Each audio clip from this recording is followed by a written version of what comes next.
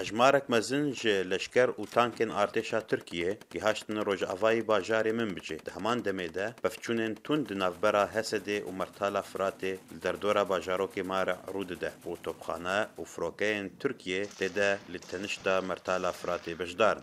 Jêderên leşkerî ji Basn News re gotin, Ku artêşa Tirkiyê gelek alav û leşker anîne gundewarî rojavayî Minbic, ji wan çend ketîbeyên hêza taybet ya artêşa Tirkiyê ne û bi wan re dehên top û tanka hene di dema ku şer û pevçûn ji bêhtirî hefteyekê di navbera Hesedê û Mertala Firatê bi tundî berdewam dibe. Heman jê derî tekez kir ku firokeyên F şazdeh yên Tirkiyê êvara şemiyê xalên Hesedê armanc kir li heman devera ku Hesedê radestî rejîmê kiriye. Li gor wî jê derî ziyan gihiştine Hesedê ji ber van êrîşan.